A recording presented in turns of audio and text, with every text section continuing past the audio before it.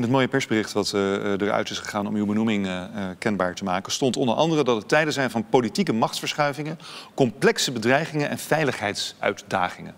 Noem eens een complexe bedreiging. Waar hebben we mee te maken? Wie is de vijand? Waar, hè, zoals geloof ik ooit tegen de baas van de CIA werd gezegd, waar ligt je s'nachts wakker van? Waar ligt u s'nachts wakker van? Nou, ik heb één groot voordeel dat ik eigenlijk zelden wakker lig s'nachts. Dus dat is, uh, dat is okay, heerlijk. Waar pikkert u over maar onder de douche? Ik, uh, waar, ik, waar ik regelmatig over nadenk, is dat...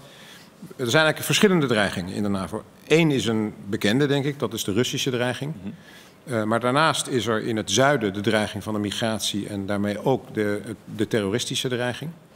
En er is een derde die eigenlijk niet uit één speciale richting komt... en dat is cyber. en die is er nu al, dagdagelijks worden wij, Nederland, maar ook andere landen van de NAVO, aangevallen.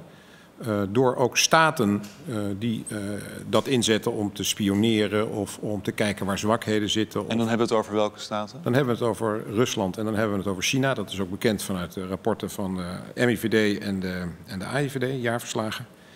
Dus dat is, een, dat is een dagdagelijkse situatie al. En wij moeten ons daar beter tegen verdedigen. Dat is een, een, van de dingen waar we als samenleving, want het is niet alleen een militair probleem, want het gaat ook over de, het stelen van economische, uh, van ontwerpen van, van, van ondernemers. Van vaccins, Inter heb ik begrepen. Er wordt intellectueel eigendom van, van fabrikanten die medicijnen of mm -hmm. apparatuur of wapensystemen. Maar er zijn natuurlijk heel veel spullen te stelen van ook de industrie. Dus het is een, het is een nationaal probleem.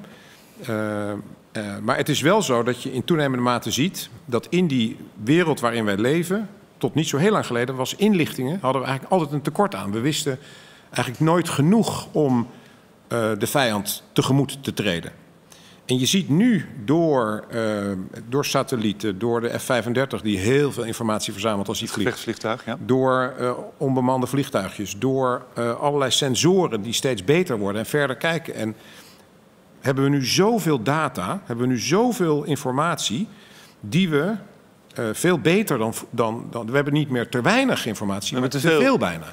Maar je moet daar dus in kunnen zoeken, je moet het mm -hmm. opslaan, je moet met artificial intelligence moet je uh, slim zoeken in al die dingen die op je afkomen. En is NAVO daar, uh, daar in staat om dat allemaal te doen? Hè? We, we, hebben het hier wel eens gehad over het quoteje van de Franse, nou, quote, Franse president Macron, die zei de NAVO is hersendood.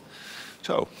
Is de NAVO in staat om deze uh, uitdagingen uh, die u net noemt allemaal aan te gaan? Nou, of moet er nog wat nodige gebeuren? Dit is wel een van de uitdagingen dat los van de traditionele wapensystemen, uh, gevechtsvliegtuigen, schepen, panzervoertuigen, waar we echt heel veel aandacht aan moeten besteden de komende jaren. Om te zorgen dat we daar niet erachteraan hobbelen, maar dat we uiteindelijk on top of things blijven.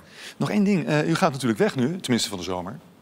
hoe laat u de Nederlandse krijgsmacht achter? Bent u een beetje, er is een hoop geld gelukkig bijgegaan na al die bezuinigingen daarvoor. Ja. Maar het is nog niet af, hè, denk ik.